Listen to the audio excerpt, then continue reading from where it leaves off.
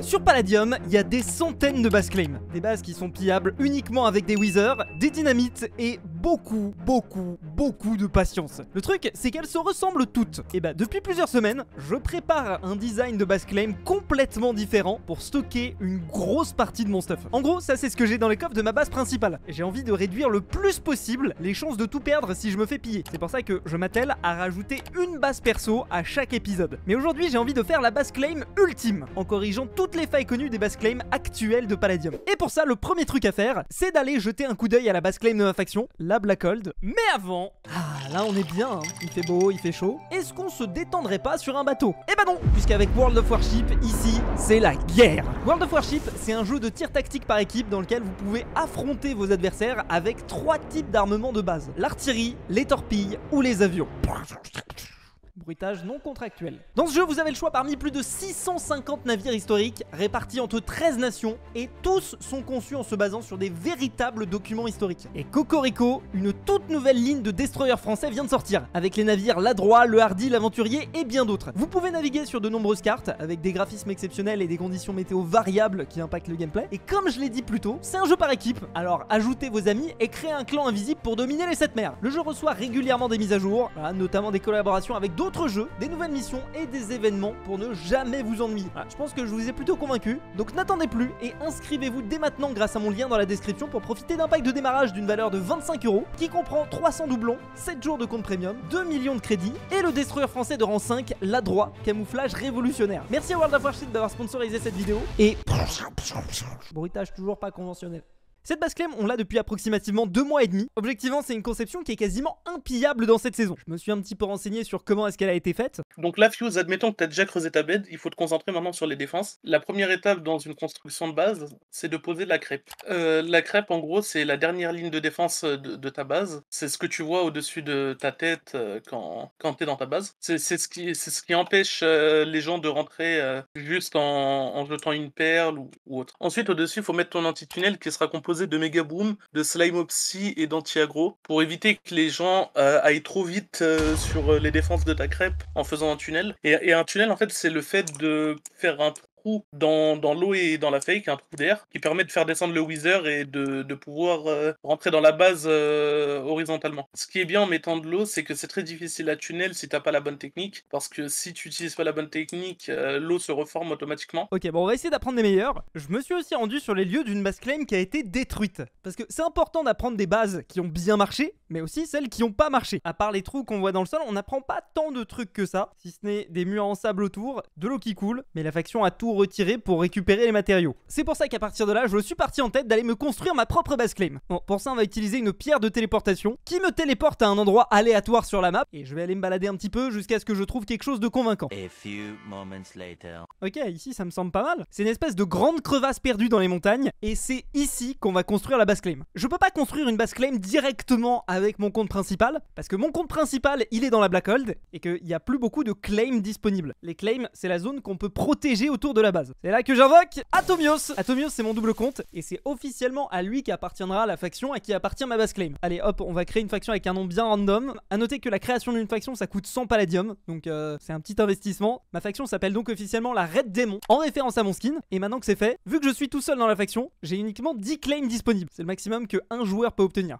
Donc ça veut dire qu'il va falloir que je protège une zone de 3 x 3. Voilà, à ce stade, toute cette zone est protégée et personne ne peut la casser sauf moi et les Wizards. Enfin voilà, vous avez capté. Si vous avez déjà vu une base claim sur Palladium, vous savez qu'elles sont construites à même la bedrock. La raison pour ça, c'est parce qu'il y a un use bug qui existe depuis la nuit des temps dans Minecraft qui s'appelle le use bug Underpearl. En gros, si j'ai un espèce de cube en obsidienne ici, normalement, je peux spammer les Underpearls, voilà, et ça, ça me permet de rentrer dans la base claim sans avoir cassé un seul bloc. Du coup, je vais creuser cette zone de 3x3, et pour ça, on va utiliser des weighted boots. C'est un moyen plutôt rapide de creuser, puisque si je vais à la couche maximale et que je saute, ça fait un énorme trou dans le sol sans que j'ai rien à faire. Bon, au moment de faire ça, j'ai reçu un message de la part de Éclair. Non, il faut que tu creuses sous terre, sinon tu seras exposé au pillage. Ok, je comprends. Bon, c'est vrai que la Blackhold a quand même une petite expérience de faire des base claims, et le gros risque avec ces base claims, c'est que si on met trop de temps à les construire, quelqu'un peut trouver la zone de construction, mettre un home à l'intérieur, et ensuite c'est hyper facile à piller. D'ailleurs, c'est ce qu'on a fait dans cet épisode de Palladium. Mais bref, du coup, pour rester discret, il faut que je creuse à la main sous le sol. Ça permet de faire en sorte que si quelqu'un passe au-dessus, il verra rien du tout. À vrai dire, le seul moyen de savoir qu'il y a quelque chose en dessous, c'est d'avoir extrait. Ce qui est compliqué avec l'anti-cheat actuel de Palladium. Là, je suis en train de délimiter la zone que je vais devoir creuser, et on va utiliser notre bon vieux Dankarok pour faire un véritable trou. En vrai, c'est tellement plus rapide depuis que les Dankarok ont été rajoutés. C'est là qu'on va pouvoir construire notre base claim entre la couche 30 et 0. Mais vous allez voir qu'il va falloir qu'on aille encore plus bas. Bon, alors par contre, j'ai une bonne nouvelle. Bromine, qui est le joueur qui a créé le site qui permet d'optimiser les achats du clicker, a apparemment un don à me donner. Je lui ai donné rendez-vous demain et il a pas voulu me dire exactement ce qu'il y avait dedans, mais étant donné que c'est le joueur le plus riche du serveur, je pense que c'est une petite dinguerie. Rendez-vous demain.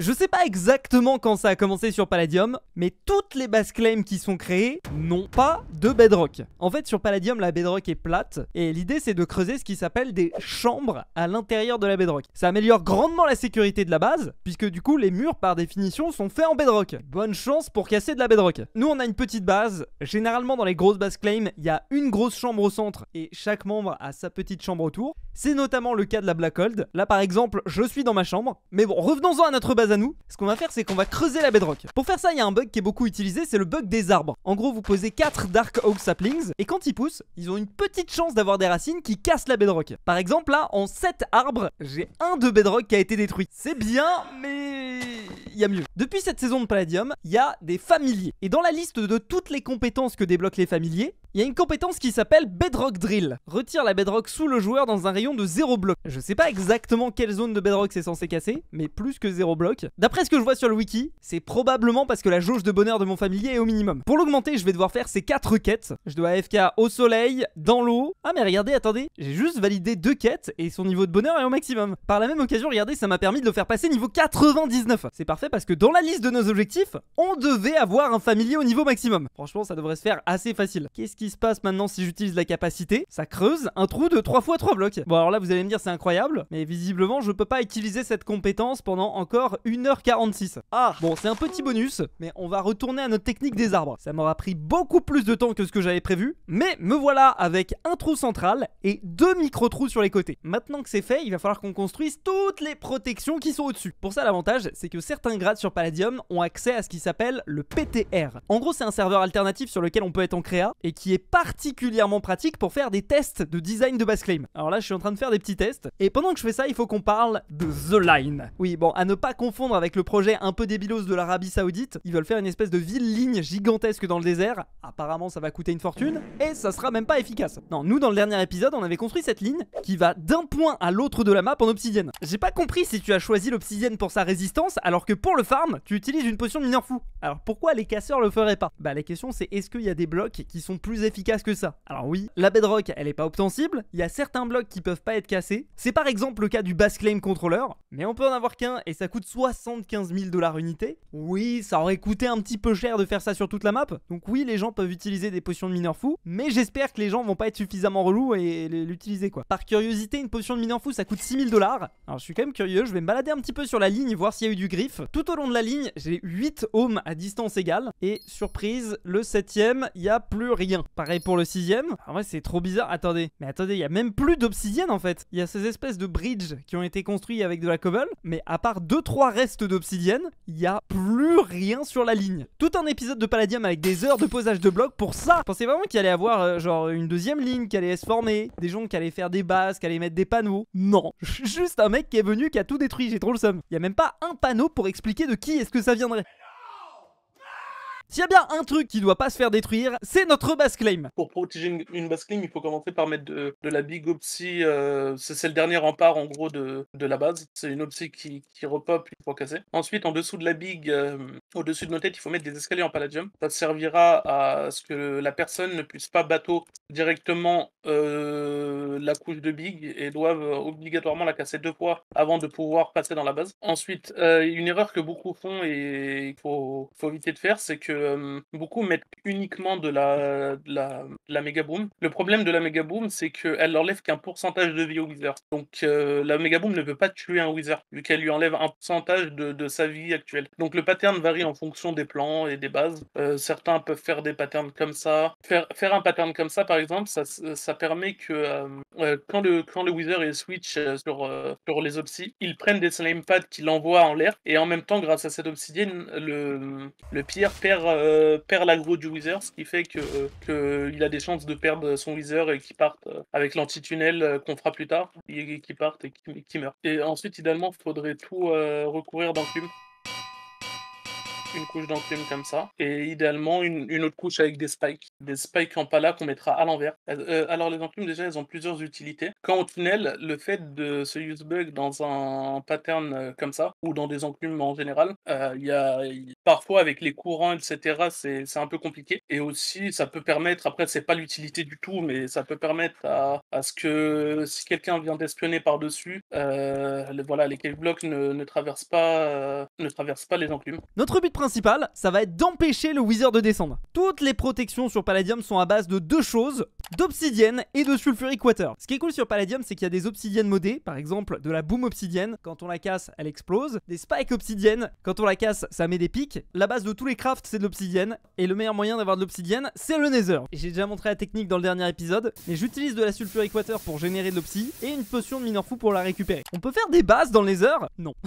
enfin, techniquement, rien me l'empêche, mais les minages sont plusieurs fois par semaine, donc c'est une très mauvaise idée de faire ça. Pendant que je suis en train de farmer de l'opsi, j'ai aussi un petit stock de Natura Box que j'ai une petite chance d'obtenir quand je vais miner. Donc on va se faire un petit opening. Il n'y a jamais rien d'incroyable à l'intérieur, mais c'est des ressources qui permettent de faire des base claims. Donc je prends. J'ai un design de base claim qui change un petit peu du design de base, mais ça sert à rien de réinventer complètement la roue. La majorité des designs de base claim, ils sont faits par des factions avec des centaines de membres et des beaucoup plus gros cerveaux que moi. Donc je vais pas faire l'américain et je vais suivre leurs conseils. La première couche de notre défense, ce sera des big En gros, c'est des obsidiennes qui, quand un wither les casse, posent une autre obsidienne. Ça permet en gros d'avoir une double protection. Bon, ensuite, là, le jeu, ça va être de mettre plusieurs couches d'obsidienne pour former la crêpe. Je sais pas si c'est une bonne idée, mais plutôt que de parfaitement ordonner les obsidiennes comme dans une base claim normale, là, j'ai adopté un style de défense complètement anarchique. J'ai quand même fait attention, voir s'il y avait pas des failles à certains endroits, mais l'avantage avec ça, c'est que ça empêche les techniques habituelles que les gens utilisent pour entrer dans les base claims. Maintenant que ça c'est fait, on va faire la dernière couche de la crêpe, et cette fois-ci, je vais utiliser des lava obsidienne. C'est un type d'obsidienne qui est très peu utilisé dans les défenses, et pour cause, sur Palladium, il y a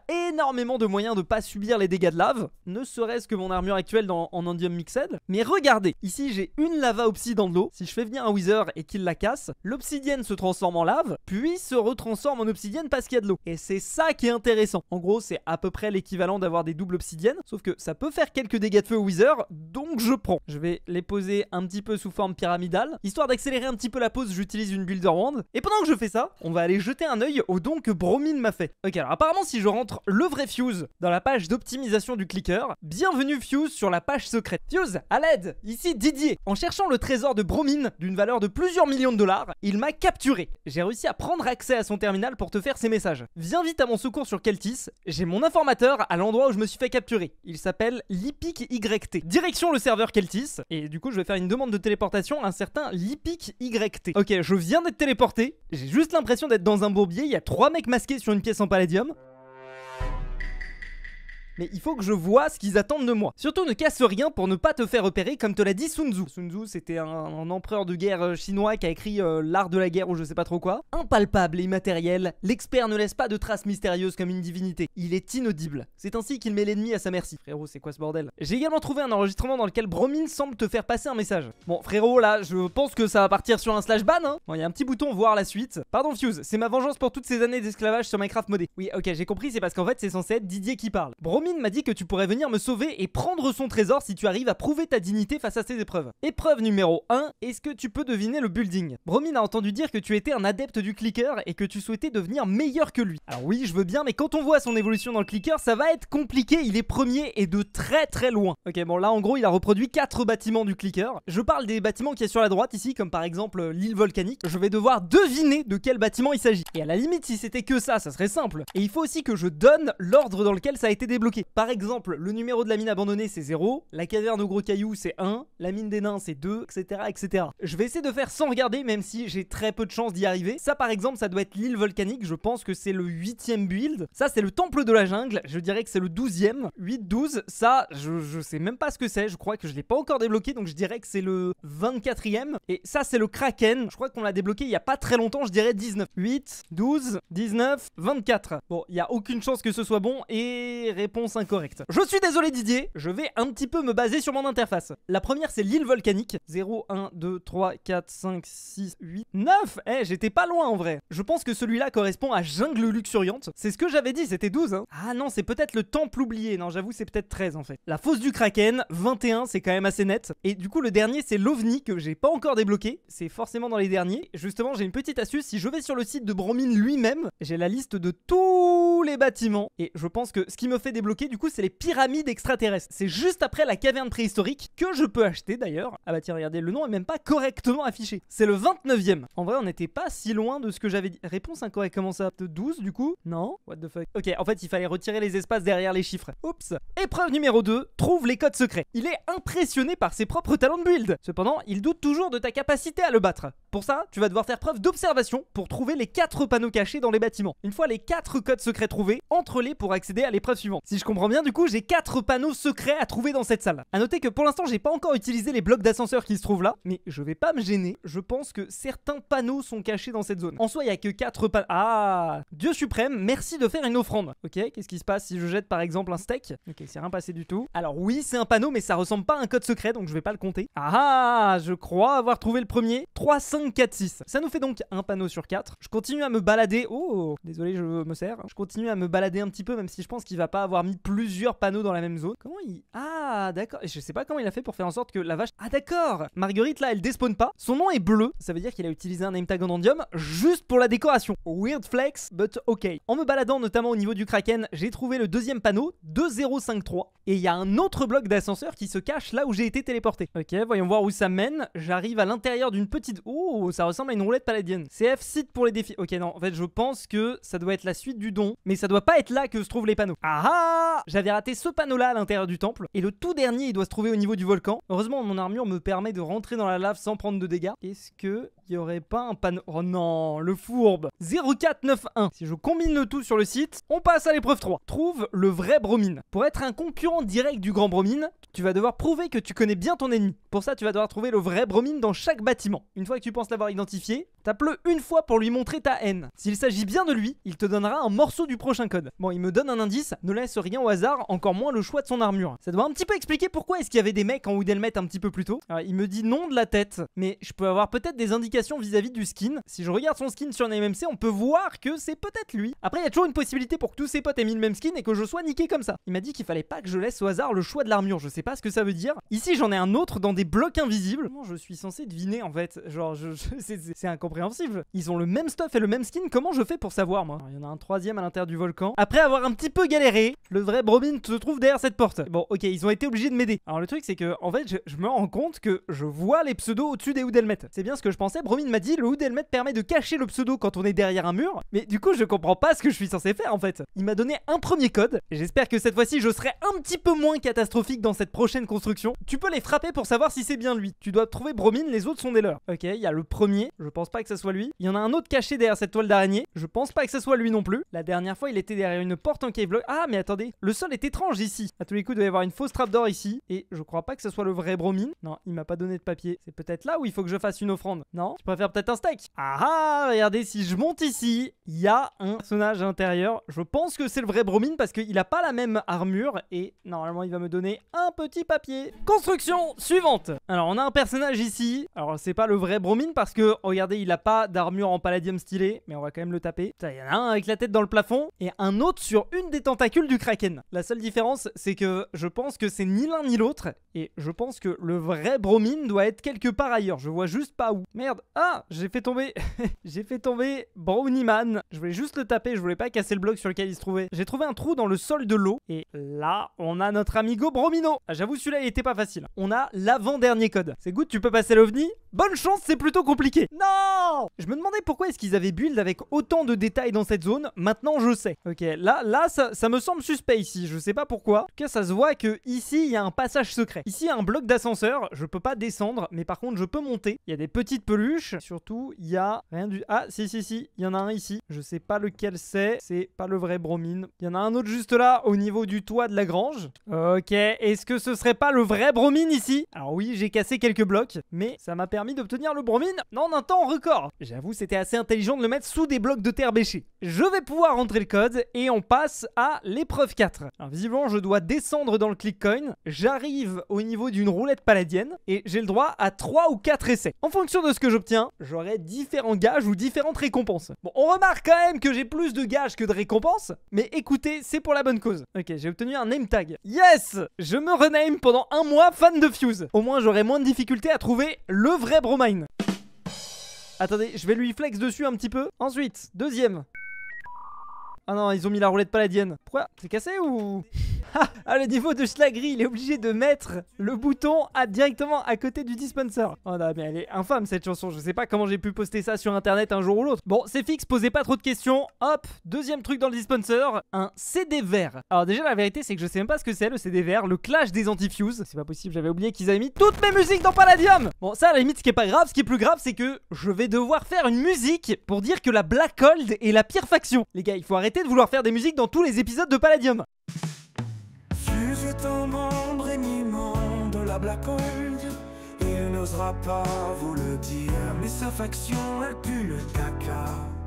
Caca la Black Gold Le clip est fini Abonnez-vous à Fuse Abonne-toi mange tes Ok, j'ai un dernier lancé, je verrai si je suis suffisamment courageux pour en faire un quatrième. J'ai le chronomètre corrompu, à savoir qu'en plus ça c'est un item qui est relativement rare. Et Bromine me demande de rajouter un pal animation à mon nom. Ah Bon bah ok, j'ai demandé aux devs de Palladium s'ils pouvaient en rajouter un, à voir s'ils auront le temps de faire ça avant la prochaine saison. Bon, vous savez quoi, je tente ma chance, je prends une dernière roulette palladienne et j'obtiens un lingot de Palladium. Dites-moi s'il vous plaît que c'est positif pour moi. Faire une vidéo IRL avec de l'améthyste titane Palladium. What the fuck? Bon bah au final, 3 malus pour un bonus, j'ai le somme. J'ai cliqué sur le petit bouton voir la suite et j'arrive sur l'épreuve numéro 5 qui je crois est la dernière. Tu connais peut-être le skin de ton plus grand rival? Oui, c'est une tablette de chocolat et je parle pas d'abdominaux, mais est-ce que tu connais ses points forts? Teste tes connaissances avec quiz. Descends encore une fois un étage via l'élévateur proche de la chute de l'Angelic Water. Je pense qu'il parle de cet élévateur là qui me permet de descendre et de me poser quelques questions. Combien y a-t-il de bâtiments au clicker? Alors, il me semblait qu'il y en avait. Ah, j'ai peur de dire une connerie. Je dirais 32. Oui, c'est bon ou pas? Ah non, c'était 35. Ok, bah, ah oui, ok, d'accord. Bah, vous pouvez m'insulter. Combien de temps faut-il pour finir le clicker? À 100% avec les métiers niveau 100 J'ai des dates ici. Alors, objectivement, ça peut pas être 2026, ça peut pas être 2024, ça peut pas être 2036, donc c'est forcément 2024. Non, attendez, c'est pas possible de finir le clicker avant 2026 Non, non, 2036 Non Comment c'est possible? On était quasiment à la fin La seule explication que j'aurais, c'est que les dernières améliorations sont impossibles à obtenir. Le jardin d'Éden. De combien augmente le prix des bâtiments entre chaque niveau? À tous les coups, ça va être le 10.000. C'est sûr et ça. Voilà, il aurait pas pu l'inventer. ça se voit qu'il a eu trop le seum au moment de développer le système parce qu'il a dû le trouver ce chiffre. Il y a d'autres questions encore. Combien rapportera un clic avec la dernière amélioration de clic Alors déjà, premièrement, ça doit impérativement être pair. Ça va, tous les chiffres sont pairs. Ça doit aussi être un multiple de 2, j'ai envie de dire 16 millions. Attends, bah, ça va être le maximum alors, ça va être 67. Je suis rentré... Bon, j'avoue, je fais un peu au pif et je fais pas les calculs. hein. C'est pas bien. J'ai bien aimé le. Bah rien en fait. Quelle est la faction de Bromine? Tout à l'heure, j'ai vu que dans les malus qu'il proposait pour lui-même, il proposait de faire une chanson sur la faction Wilderness, qui est en gros la faction de base quand vous avez pas de faction. Donc je pense qu'il est Wilderness. Voilà. Qui est top 1 Monnaie, Clicker, XP Vania, Possession, top 1, métier sans faction d'Andium. Bon bah évidemment, Bromine, c'est un petit flex, hein. J'avoue, euh, être humble, il connaît pas trop. Maintenant que ça c'est fait, je peux cliquer sur voir la suite. Le duel. Toutes ces connaissances ont vraiment affaibli Bromine. Profites-en pour me tuer et pouvoir me libérer pour récupérer sa richesse. J'ai entendu dire qu'il y avait pour environ 50 millions de dollars de ressources dans sa base. Ok, euh, 50 millions, ça vaut le coup de prendre le risque de se faire ratatiner en PVP. J'ai un stuff qui est relativement PVPesque sur moi. J'ai quelques sticks que je vais mettre dans mon inventaire et je suppose qu'il va falloir que je... Quoi en fait Base principale de Bromine. Ok, il faut que je, je le bute, il faut que je rentre... à- Ah, c'est un pillage Ok. Bon, déjà, premièrement, je vois quelques blocs en endium. Je vois aussi des ordinateurs. Ça, c'est des trucs qui s'obtiennent dans les Lucky Blocks et cliquer exactement au bon endroit. Je sais plus exactement ce que ça permet d'obtenir. Ok, en fait, oui, c'est pour le récupérer en fait.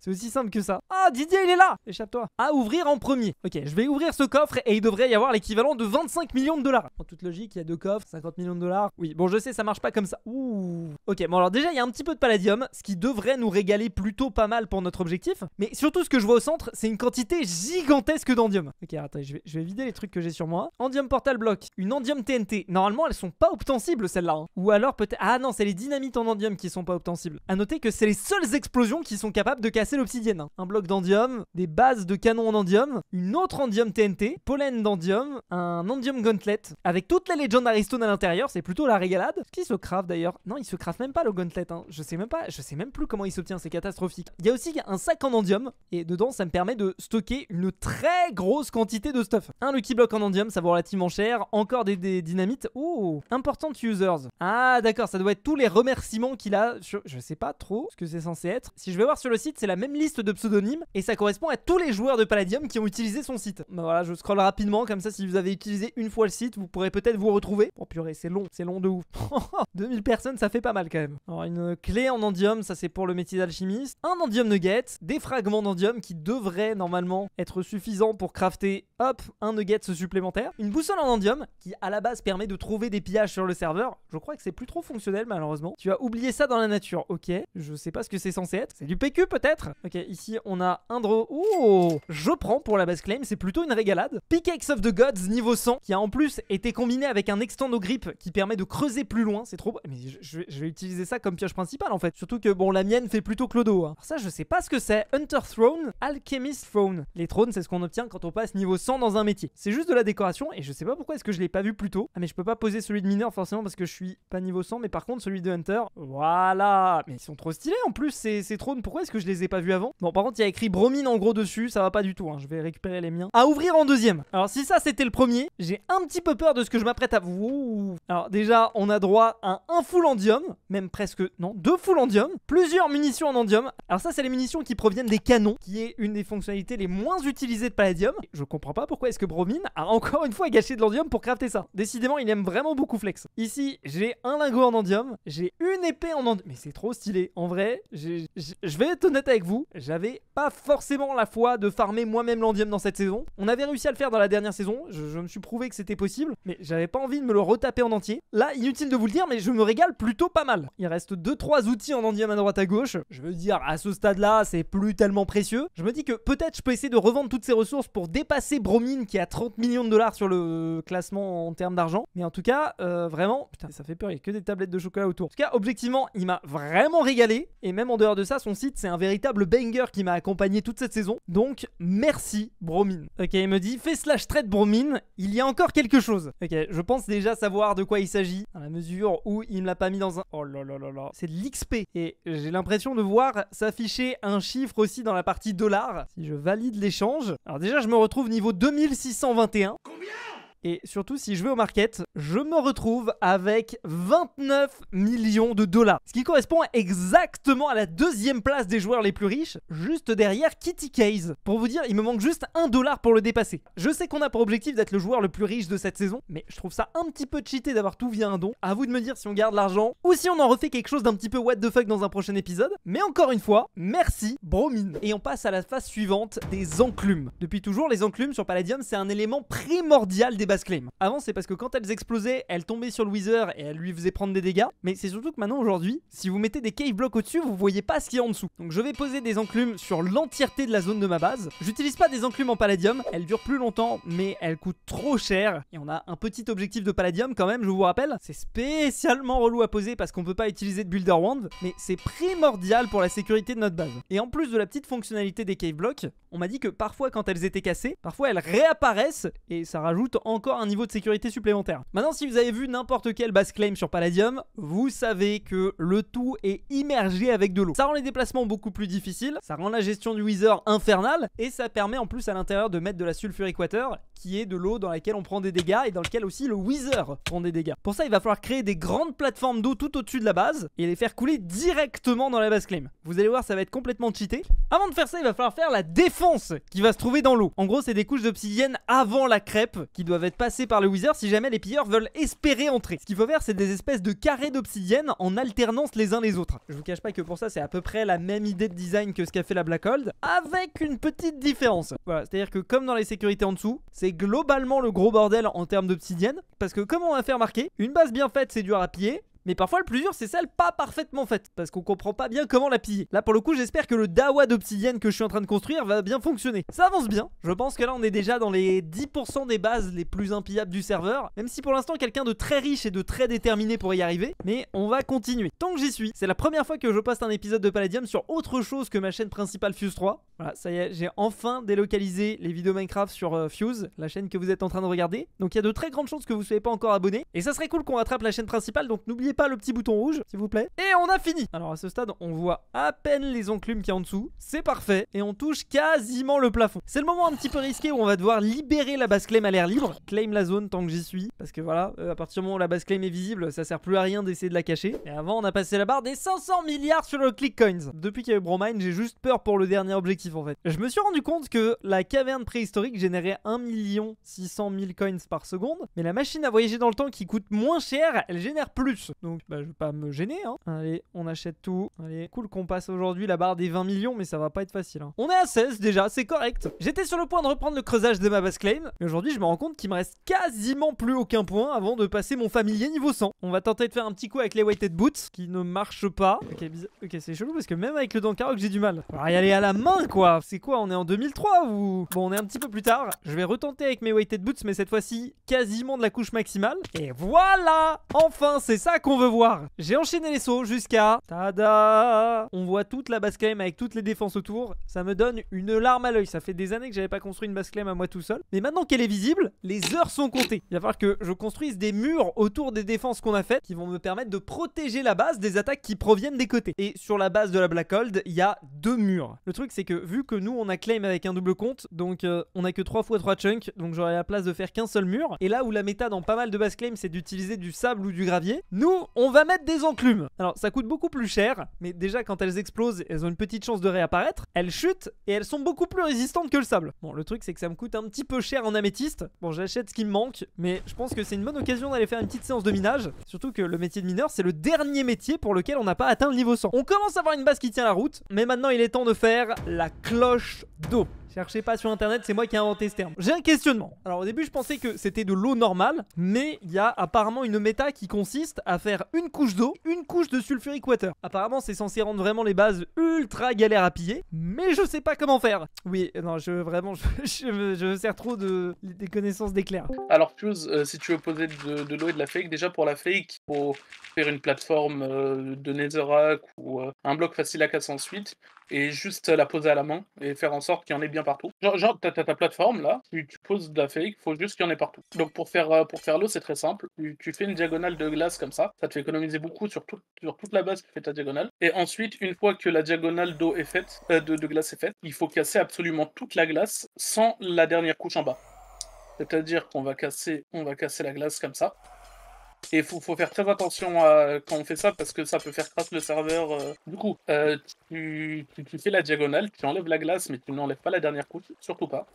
Et une fois que toute la glace est cassée sur la base, tu enlèves la dernière couche et tu vas voir qu'elle va se former, que, ça va se former en entier. Tout le carré va se former en, en, source euh, infinie. Tu peux prendre un seau après et aller enlever. Tu verras que, que ça va, qu'il y a des sources partout. Tout ce que m'a dit Éclair, c'est particulièrement intéressant, mais il y a autre chose d'important que je dois faire. Petite pause, je peux débloquer une nouvelle machine à voyager dans le temps. Ça me fait 17 800 000. Eh, il est possible, hein, le 20 millions par seconde aujourd'hui. hein. Je vais commencer par construire plusieurs couches de Netherrack. C'est ça qui va me permettre d'écheler les zones d'eau et de sulfuric water. Et là, vous êtes peut-être en train de vous demander pourquoi est-ce que j'en fais plusieurs. Si vous regardez bien les techniques de pillage habituelles, il y a une couche d'eau et une couche de sulfuric water. Et ça, ça permet aux factions de potentiellement réussir à créer un tunnel avec un Wither qui permet ensuite de piller la base. C'est ce qu'on avait fait dans cet épisode dans cette dernière saison. Et c'était chiant, mais ça avait marché. Là, ce que je vais faire, c'est que je vais alterner plusieurs zones de sulfuric water et d'eau. Je pense qu'objectivement, ça va être une stratégie qui va le plus saouler les pilleurs. Ma vision du pillage, c'est que aucune base est impillable. Et de toute façon, dans le règlement, il y a une ligne qui dit qu'on n'a pas le droit de faire des coffres impillables. Bon, dans les faits, ça fait plus référence genre si vous arrivez à coincer un coffre sous de la bedrock, euh, là c'est impillable. Mais de toute façon, quelqu'un qui veut piller une base, il y arrivera. Ce qu'il faut, c'est que la base soit suffisamment chère à piller pour pas que ce soit rentable et suffisamment longue à piller pour que moi ou ma faction ait le temps de venir la défendre si jamais quelqu'un se ramène. C'est pour ça que on va poser de la sulfuric water sur toute la surface. Plus je vais mettre de sources, plus ça va rendre la base difficile à piller. Pour retirer chaque source que vous voyez ici, il faut utiliser soit un wither, soit un extrapolated bucket et c'est grave relou et ça coûte cher aussi. Voilà, donc là on a toute l'eau ici. Ce que je vais faire, c'est que je vais la casser et ça va directement venir inonder nos défenses. Bon, là déjà ça commence à être euh, plutôt beau. Maintenant, on va faire l'eau normale. Pour ça, comme on a vu avec Éclair, on va utiliser de la glace. Et ce que je vais faire, c'est que je vais l'empiler. Et normalement, si je casse la glace, alors il faut que je la casse vraiment bien au-dessus, jamais en dessous. Maintenant, j'ai juste à casser celle du bas et ça se remplit. Ok, alors là, j'ai dû faire un petit peu n'importe quoi. Je sais pas si c'est bien ou pas bien, mais bon, à skip, une base mal faite est plus chiante à piller qu'une base bien faite. Oui, je prends cette rumeur à mon avantage, mais en je pense que c'est pas hyper opti, mais bon. Bon, maintenant, il faut que je reproduise ça autant d'étages que j'ai en Netherrack. Et voilà à quoi ressemble la base finale. Il y a très probablement quelques failles à l'intérieur, et le meilleur moyen vraiment d'avoir une base très sécurisée, c'est de demander à ma propre faction de piller ma base. Je vais pas mettre de stuff à l'intérieur pour l'instant. Selon Éclair, une base de cette taille, normalement, ça se pille en 30 minutes.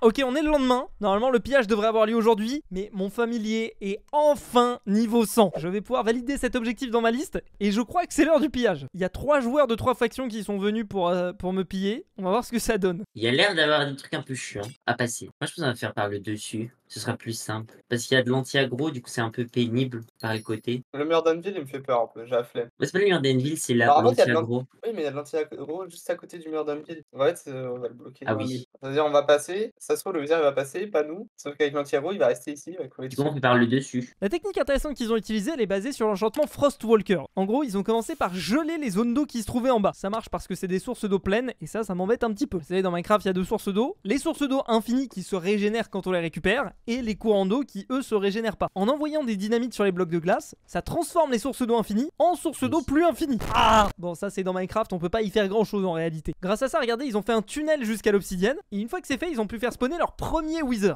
Un wither passif, c'est ce qui est utilisé dans tous les pillages. Ce que fait mon petit, c'est qu'il tape une fois le wither pour obtenir l'aggro, et il a un jetpack qui lui permet de l'amener tout en haut, et de petit à petit le faire descendre pour qu'il casse l'eau couche par couche. Ah ouais Le premier passage entre l'eau et la fake s'est bien passé, mais sur la deuxième section, le wither a commencé à faire n'importe quoi et à mourir. Ah ah Du coup, à la place de faire le tunnel par le haut, ils l'ont fait par le bas, qui a pris beaucoup de temps. Rien que pour passer les couches d'eau, ça leur a demandé une heure entière. Là, c'est la partie intéressante. Ils sont dans la zone qu'on appelle l'anti-tunnel. Pour le coup, il n'y a pas grand chose à faire, c'est juste que c'est très relou pour eux. Il faut qu'ils utilisent des switch arrows sur le wither, qui leur permet d'échanger la position, et comme ça, le wither peut avancer. En vrai, le fait d'avoir autant mis les opsis de façon random, genre ça, ça fait perdre une quantité de vie gigantesque au wither en fait. C'est le genre de truc qui rend un exponentiellement plus difficile, parce qu'à chaque fois que le wither a plus beaucoup de vie, il faut l'écarter en attendant qu'il se régène un petit peu. Bon, je vous cache pas qu'il aura fallu quand même qu'une quinzaine de minutes pour arriver au niveau de la crêpe, et là, j'étais choqué. Alors, ils ont passé les enclumes à une vitesse, mais par contre, ma technique d'avoir utilisé des obsidiennes de lave, ça leur a mis un petit peu de fil à retordre. Au début, ils voulaient simplement utiliser un extrapolated bucket, qui est un seau qui permet de détruire toutes les sources de liquide, ça peut être la lave ou la sulfuric water. Ils voulaient détruire la source de lave au moment où elle était posée par le bloc, qui n'a pas marché, ils étaient pas assez rapides, mais avec le wither, ils y arrivent quand même, j'ai le somme. Et finalement, au bout de 1h34, ok, bon, j'ai identifié plusieurs points de sécurité supplémentaires à avoir dans la base. La partie relou, c'est qu'il va falloir réparer le pillage, mais j'ai pas mal de trucs vraiment intéressants que je peux rajouter à ma sécurité. Déjà, tout au-dessus de l'anti-tunnel, je vais rajouter des enclumes en améthyste. Le fait de poser les enclumes à côté des opsis, ça les rend vraiment très très relous à passer. Là, ça va être un petit peu chiant parce qu'il va falloir que je répare les sources d'eau. Donc je vais faire des espèces de mini plateformes et poser l'eau ici. Et je vais rajouter des sources de sulfuric water un petit peu partout dans l'eau. Ça va rendre la tâche vraiment difficile. Et maintenant que tout ça est fait et que ma base claim est comme neuve, je vais pouvoir mettre le stuff que je comptais mettre à l'intérieur. J'ai divisé ça dans les trois chambres. En vrai, je pensais que j'arriverais à faire une base qui serait vraiment beaucoup plus safe et impillable, mais c'est pas si facile. Du coup, j'ai pas trop abusé. J'ai mis un petit peu de mon stuff, mais j'ai pas tout mis. Et de toute façon, comme je l'ai expliqué, mon objectif c'est de dispatcher tout le stuff dans plein de bases et pas simplement d'avoir une base impillable. Donc une BP en plus, c'est ça de prix. Et si la vidéo vous a plu, vous connaissez la chanson, le pouce bleu, l'abonnement, les défenses de la base claim. Salut tout le c'était Fuse, à la prochaine, à plus.